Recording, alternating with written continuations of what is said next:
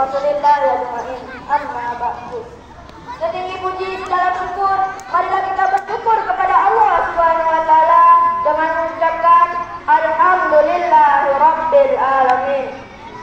Selawat beriringan salam, tidak lupa pula bila berselawat kepada junjungan alam, yakni Nabi besar kita Muhammad sallallahu alaihi wasallam dengan mengucapkan Allahumma salli ala sayyidina Muhammad wa ala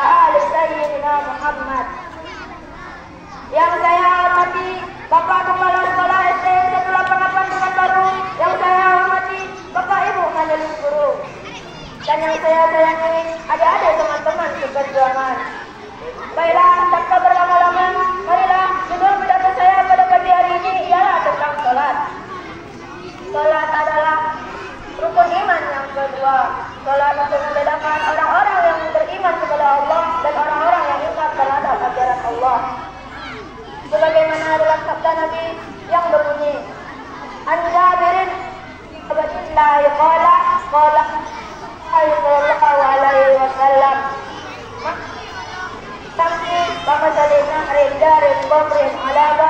yaghtasilu minhu kulla yawmin khamsa maratin Rawahul Muslim Dari Jabir bin Abdullah berkata Rasulullah sallallahu alaihi wasallam bersabda Perumpamaan lima sholat bagaikan sungai yang mengalir deras di depan pintu salah seorang di antara kalian yang ia pergunakan untuk mandi lima kali sehari semalam.